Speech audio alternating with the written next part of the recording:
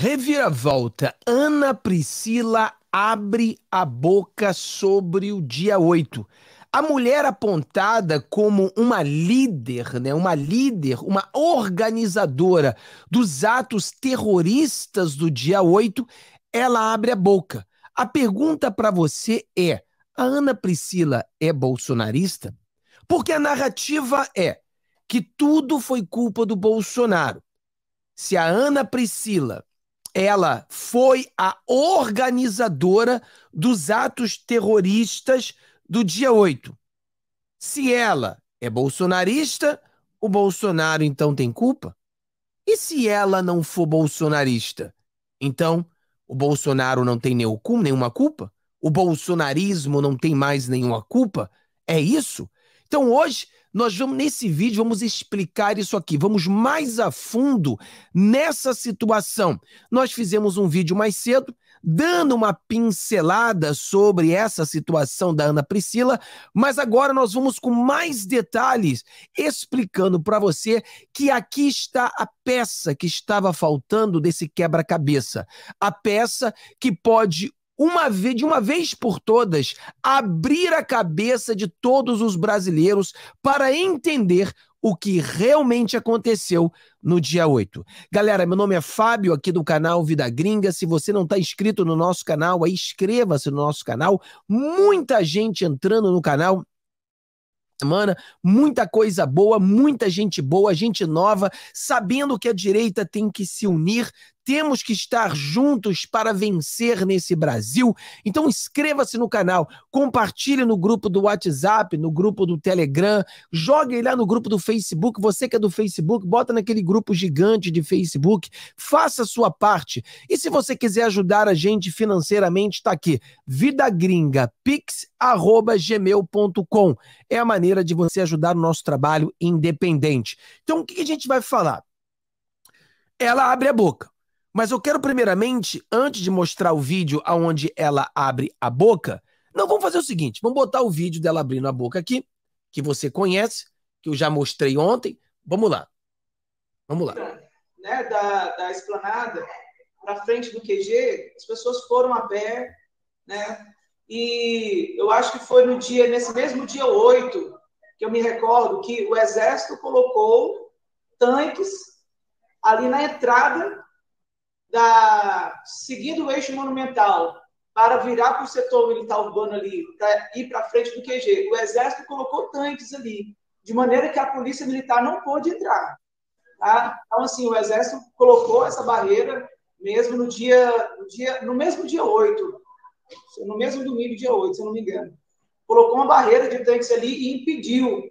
Aí te, virou a noite, no outro dia de manhã, foi avisada, as pessoas foram avisadas para que elas é, fossem retiradas, se retirassem dali, né? com certeza de que na manhã do dia 9, é, uma autoridade do Exército se pronunciou ao público, pediu para o pessoal da frente ali do QG que, que fosse embora, que se retirasse. Até onde me consta, era um general mesmo do Exército. Ah, um general teria dito isso? Exatamente.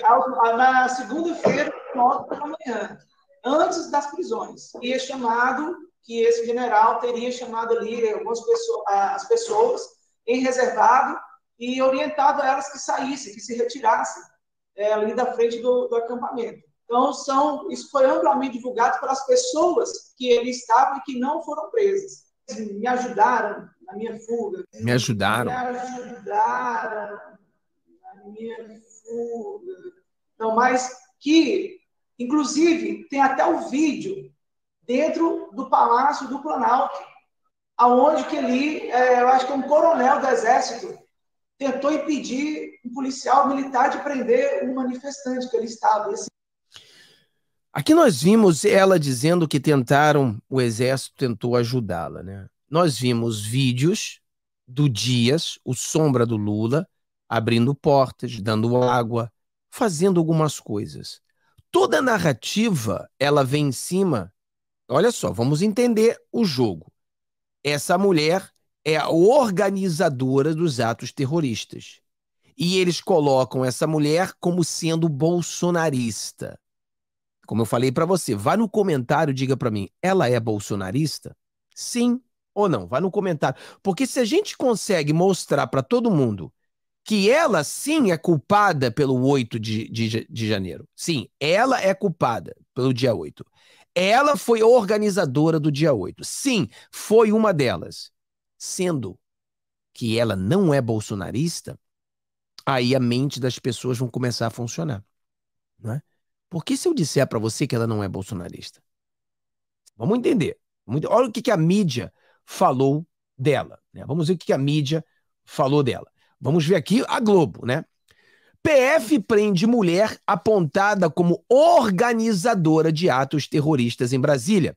Ana Priscila Azevedo foi presa em Lusiana no entorno do DF por ordem do STF nas redes sociais. Ela indicou ações violentas na capital e incitou o bolsonarista para tomar o poder. Se a gente concordar com tudo que a mídia está dizendo, que ela sim foi uma organizadora, que ela sim entrou no, nos, no, nos três poderes, que ela sim quebrou tudo, que ela sim fez tudo isso, e se a gente mostrar para você, depois de fazer tudo isso, ela não é bolsonarista. Tanto que vocês são o tanto que vocês são hipócritas. Será que os bolsonaristas amam mesmo a Cristo? Só quem ficou foi quem? Foi o Werneck e fui eu, as custas do alto comando. Porque vocês sabem que esse miliciano safado, desse bozo, bolso cheio, vagabundo, esse cara não se sustenta. E vocês ficam aí tentando manter, manter uma, uma, aparência de governo Bolsonaro Mourão e que na verdade não existe. O que espera vocês, seus vagabundos? É morte, é cemitério, é caixão, é fuzil, é prisão, porque vocês são piores do que os comunistas. Eu tenho mais respeito por um comunista raiz do que por vocês, falsos conservadores, liberais safados de merda do cacete, que trai o país e não vem com essa merda, governo Mourão Bolsonaro, porque não existe, está mais do que provado, Bolsonaro nunca, Mourão se afina com Bolsonaro e nem com esse comedor de placenta do otário de caralho que vocês sabem muito bem quem é. A, a esquerda tem tanto ódio do Bolsonaro que prefere o Mourão, velho. Prefere, prefere o, a ditadura do que a burrice do bunda suja. Estava me convencendo a apoiar o Bolsonaro. Não, tem que apoiar, porque não se sabe, cara. Pô, nós somos amigos, aquela coisa todinha. Penso que não, o cara estava trabalhando lá dentro do Passo do Planalto. Levou um pé na bunda essa semana. Oh, parabéns, otário, se lascou. Levou um pé na você acha que ela é bolsonarista? Aqui comprova com todas as letras que ela não é bolsonarista. Ela acusou até de. xingou de tudo quanto é nome, falou que merecia morrer, falou que os bolsonaristas é lixo, falou tudo isso. Então está comprovado, isso aqui é uma peça importantíssima nessa CPMI, que mostra que ela que foi dita por toda a rede social, por toda a grande mídia, que foi a organizadora desse lixo que aconteceu no dia 8, ela nunca foi bolsonarista. Ela nunca foi conservadora. Ela sempre foi esses militantes infiltrados, esses malucos intervencionistas. Eles sim queriam dar um golpe no Brasil. E o golpe que eles queriam dar era para tirar o Bolsonaro. Era para tirar o Bolsonaro. Eles sempre quiseram. A vontade deles era tirar o Bolsonaro do poder e dar um golpe intervencionista. Essa sempre foi a jogada.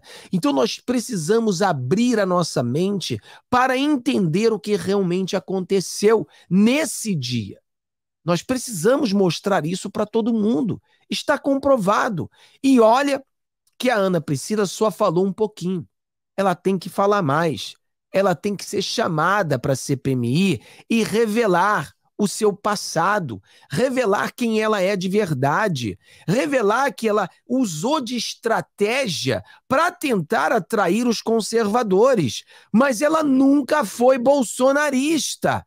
Está provado, está comprovado que ela nunca foi. Então nós precisamos mostrar isso para todo mundo. Joga, porque Fábio, eu já tinha visto esse vídeo. Fábio, eu já vi esse vídeo, mas não nesse contexto. Esse contexto é um contexto do checkmate. É um contexto de revira, uma, uma reviravolta.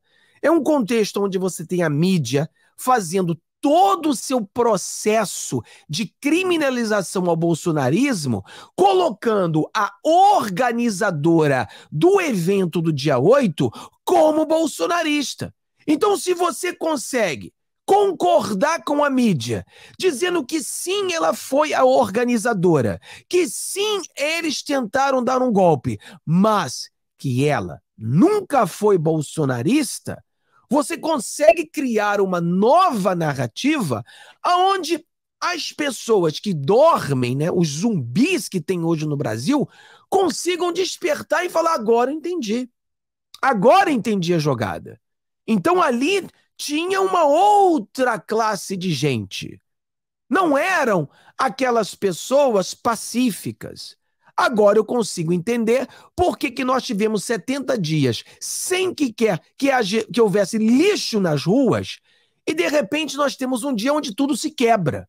Como as pessoas que sempre estavam de maneira pacíficas, de repente começam a quebrar tudo. Então você começa a entender que existia ali um grupo de intervencionistas que são os infiltrados, que muitas pessoas, a mídia, aproveitou o caos para atacar o bolsonarismo, como eles sempre fazem. Foi encontrado aí um petista fazendo algumas coisas, levando até dentro de mala, não quero dizer o nome aqui. Aí não saiu nenhuma mídia dizendo que o cara era petista. Eu tive que conversar com os amigos amigos petistas que eu conheço, que sempre ficavam falando essas estupidezes de que o cara fez isso de errado, ele era bolsonarista, o cara. Aí eu mandei isso para ele. E aí, fala aí, ó. Olha o seu partido, partido das pessoas que gostam disso. Aí o cara nunca ficou uma semana sem falar. É assim. A mídia não fala isso. Então a mídia tentou usar isso para criminalizar o bolsonarismo. O que precisamos fazer é concordar com a mídia que ela era uma das principais organizadoras, mas que ela nunca foi bolsonarista. Se ela não é bolsonarista e se ela foi a organizadora, ela organizou isso com os seus militantes, com os seus intervencionistas e não com os bolsonaristas. Então, essa é a diferença. Houve um problema? Houve. Pessoas cometeram crime? Cometeram. Essas pessoas precisam estar presas? Precisam estar presas. Mas temos que saber quem elas são.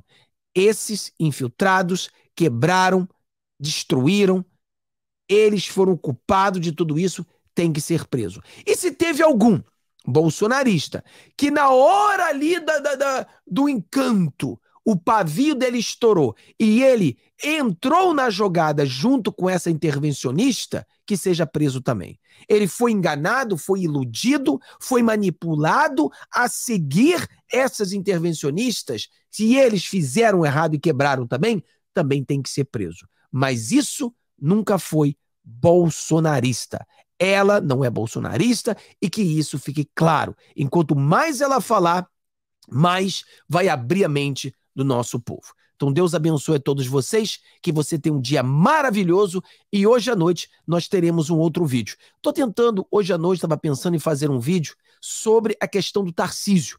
O Tarcísio é traíra ou o Tarcísio simplesmente escorregou na banana? Vamos falar isso hoje às 20 horas, tá bom? Se você ficou até o final, bota uma mãozinha assim e faça uma oração pra gente, tá bom? Deus abençoe a todos. Vejo você às 20 horas.